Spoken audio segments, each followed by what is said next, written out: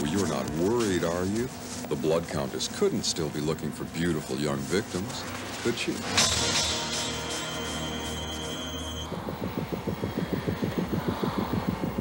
Well, do you think you can run any faster? No? Oh dear.